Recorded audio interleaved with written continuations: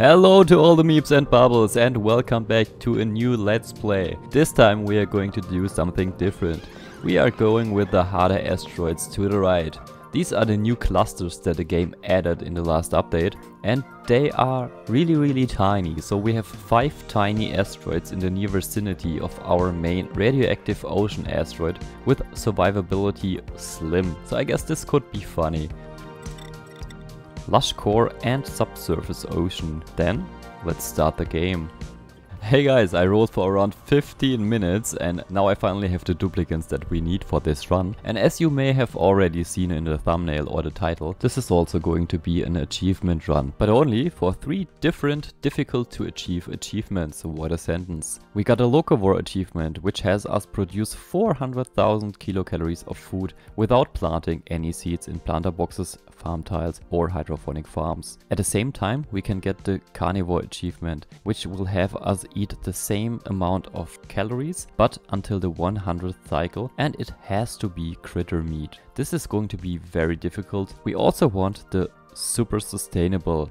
We have to generate this much power without using any of the classic methods for that. But we can use hydrogen, solar, manual power and maybe atomic power. So let's take a look at the dupes that I rolled so hard for. We got Mima, our rancher and animal lover. Nisbet, researcher, plus 12 science a loner, meaning plus 4 bonus to all attributes if this is the only dupe on the asteroid. This is super helpful if we send Nisbet away and then she's going to be our researcher on that planetoid. Also increased air consumption rate, but since she will be the only one on that planetoid that shouldn't be the problem I guess. And we got Turner, our digger and excavator. Early bird plus 2 morale in the morning as well as bottomless stomach. This is actually helpful in this playthrough because Turner will eat more and we need the dupes to consume 400,000 calories. So why not? We're gonna name the colony Carnivorous and embark. Here we are, let's start right away and then check our surroundings. As well as set the priorities and other stuff. We got a couple of pips. And some pockets with food, a water pocket to the right and a water pocket downwards. So I guess it is easier to get to the water pocket to the right to set up our bathrooms. Like this. Then we go to the plumbing, place down the pitcher pump, right here. And so that every duplicant has something to do, we're going to increase the size of this so we can place down our bathrooms in the future.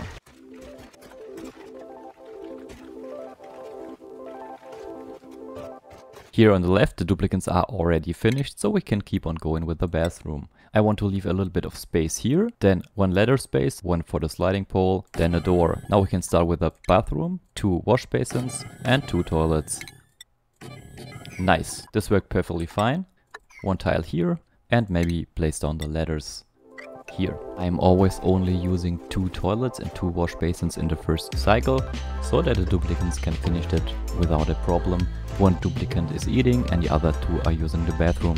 We do have enough time to get the bedrooms done, so we can place down a door, make two tile high rooms, replace the oxylite with a solid floor, wait for the duplicants to dig this up and then place the cots inside of it. The bathroom has been finished, so we can set the wash basin to right, so the dupes only wash their hands if they go out of this room. Also we can open this door permanently.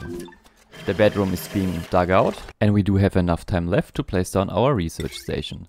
As always, right next to the printing pod, because the printing pod is giving off light and dupes work 10% faster when they are in a lit environment. Then we only need power and a manual generator, but I guess they can't get that done in this cycle. So we are going to set the priority of this lower than everything else. Also, food should be collected and now we can set the priorities and the schedule for the duplicates. For the priorities, since we very carefully chose the attributes of our dupes, each dupe will get what they are good at Except for our digger, he will also be a builder dupe. We do not want to forbid the research but set it to a low priorities for the other duplicates. In contrast to that, no new dupe should do the farming. Because farming is not allowed in this run and I do not want to risk it. Also, as I learned from you, toggling, very important, so set this to a high priority for every dupe. Then we can enable the proximity right here and go to the schedule. I arranged the schedule as you can see here Turner is a morning person, so he will work in the morning. I cut one bedtime slot because the dupes will sleep until they are well rested even with two bedtime slots. Nisbet will be on another planetoid pretty soon, so this should be fine. Now we can watch the duplicants dig out and finish the bedroom so that every single duplicant has their own bed to sleep in. The overlapping shift is also helping with our Nisbet finishing the bedrooms while Mima is munching away. Then it is time for the bathroom.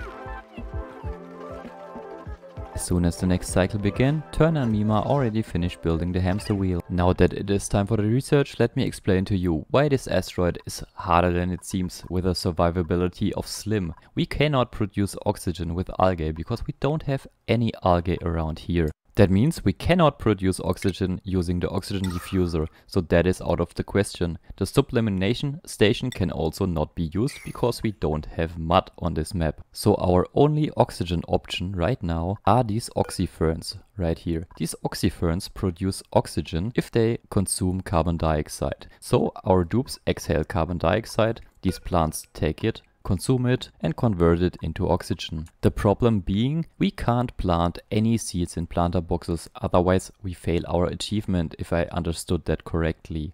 Secondly, we can't build coal generators because we fail the other achievement that we're trying to achieve, the super sustainability. So these are also out of the question. This only leaves us with the electrolyzer, hence the long explanation. So research station, research, plumbing, air systems, and let the duplicants handle the rest. Before the dupes get idle, let's place down another battery, grab the cable and one more cord for when the next duplicant will arrive in the base. We can also dig down and up. Let's go up first and make this a little bit wider. Since we have this much pips, one pip, uh, two, three, four, five pips, we can use the pips so they plant the oxyferns, so we did not plant it, and let the carbon dioxide sink down into this pocket, connect it up with a ladder, so that we may get a little bit of oxygen for free.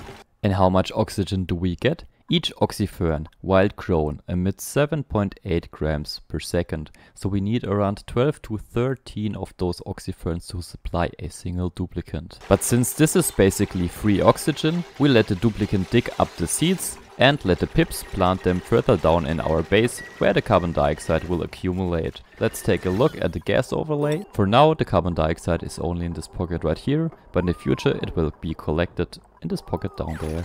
Let's keep on going with the dig and make this a little bit bigger. Also we can already prepare the ladder to up here so that we can send Nisbet over to another planetoid. Since I deactivated the farming skill for the duplicants, they cannot uproot plants. That's why I'm digging up the tile that they are standing on. This is way quicker also, by the way. I'm going to dig these up because oxygen up here will not be helpful. We need to replant them down in the base or to be more exact, the pips need to replant them.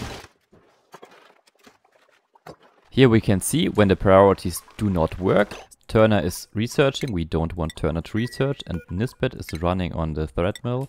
That should not be how this works. Turner, please go away, stop that. Let's go to the priorities and maybe disallow that completely for the dupes. Now Nisbet is researching again. And because Turner was of no use right now, we can place down a pitcher pump and already prepare for when we need the electrolyzer setup. Bring that over, and let it stop somewhere around here. Connect up the cable and place down a ladder. Like so. Back at the research, it is time for the advanced research because we need a supercomputer. Otherwise we will have no access to the ranching skill tree. Here you can see the classic culprit that won't let our duplicants sleep. It is a shine bug. And the dupes can't get their eyes closed. So Nisbet, stop munching and go get rid of that shine nymph. Okay, that works too. Mima had enough of it. In the upper parts of the base, I have Turner build a ladder so we can send Nisbet over to another planetoid so she gets plus 4 to every single one of her traits, which will make her the best researcher ever I guess.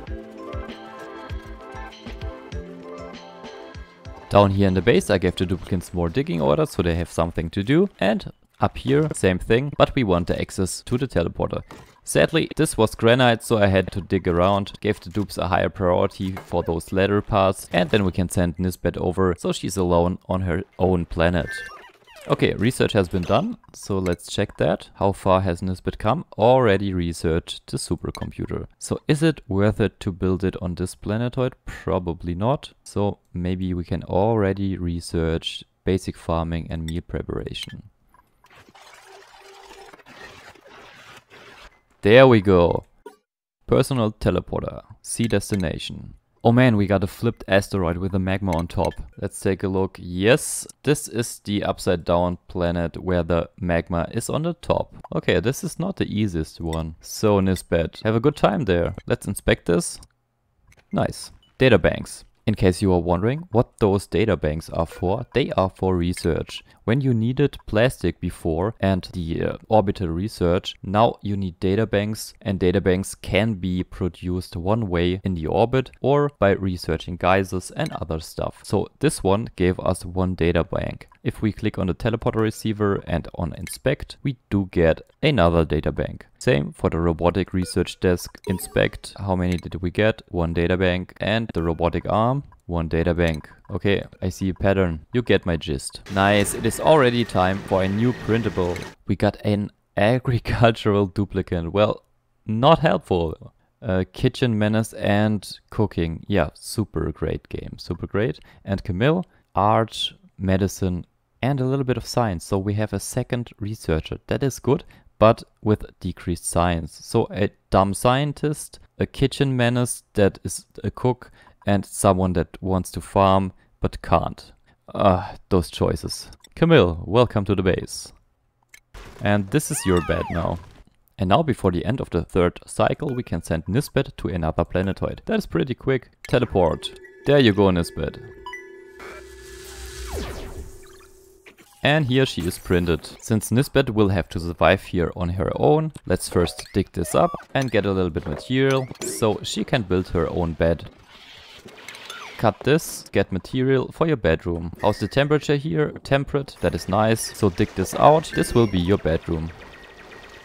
And we need a bathroom. Let's check the water sources. Here's a water source and here. So why not use this?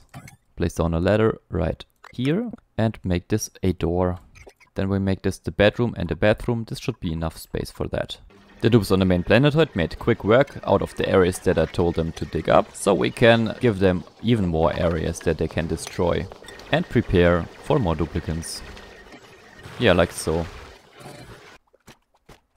I had to stop the game here because Nisbet's bladder is becoming very full. So let's see if we can cramp in an outhouse somewhere around here.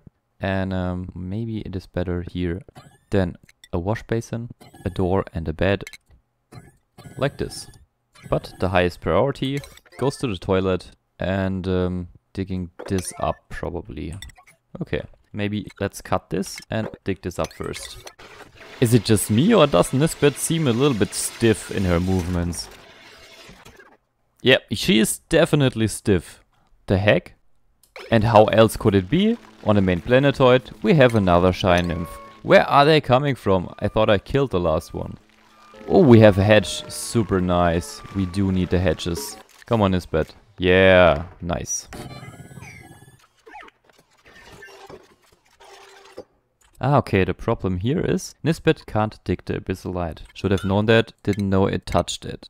Pitcher pump, one tile deeper. That should be fine. Make this a high priority and place one tile here. So this is a bedroom. We don't want to defrost that duplicant, but what we do want is a research terminal for Nisbet. So place down the supercomputer somewhere around here. Deconstruct, deconstruct the ration box because we can place down the ration box in this cold biome to the left.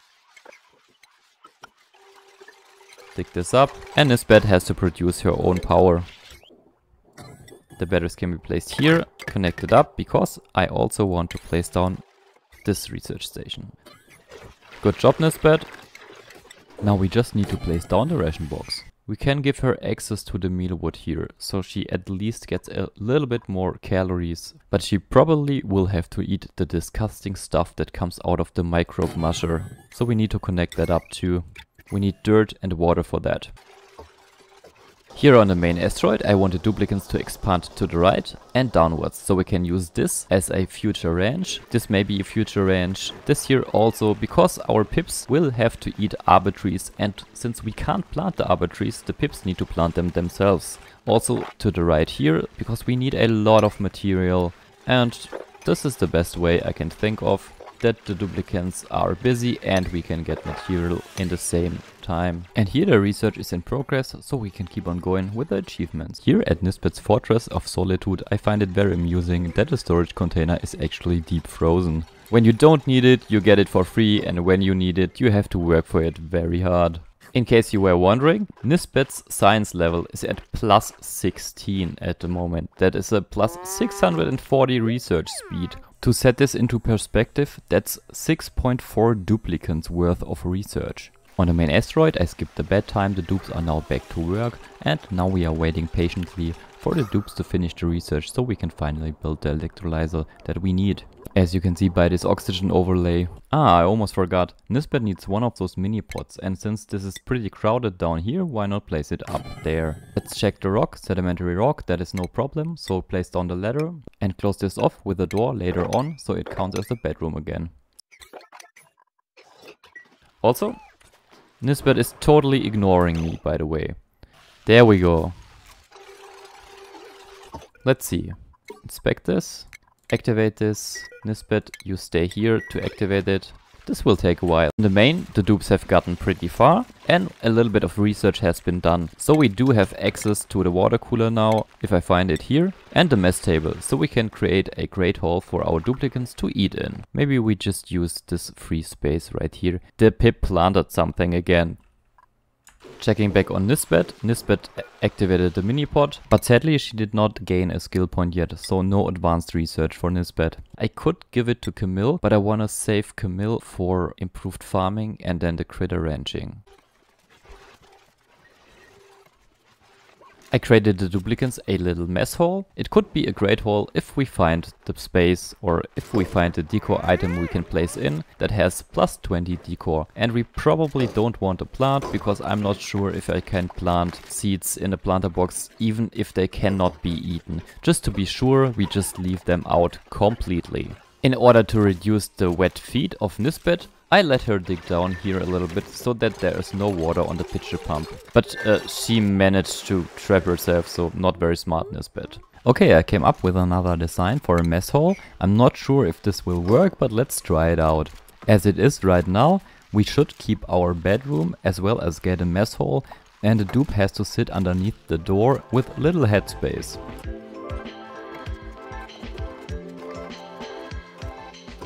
Let's open this up. Oh, and we got a skill point. Hopefully it is Nisbet. Nice. Advanced research for Nisbet. And she will get advanced research head. Let's see if we can give that seed to Nisbet. Game. Oh, she's so happy. Nice, Nisbet. Very nice. Hey guys, you have the power to decide how well this Let's Play will do. So if you want to support me, just give it a like, maybe write something down in the comment section and be sure to watch the next episode. Love you guys and Luma out. Hey, and because I'm always honest with you guys, these are the mods that I have activated. The Pliers Fixed mod and the Achievement Enabler. Because I do a lot of shorts testing in the background each day, I do have to use the debug mode. And because I have the debug mode enabled, I can't get any achievements. But because I want to get some achievements done this let's play, I have to get this mod.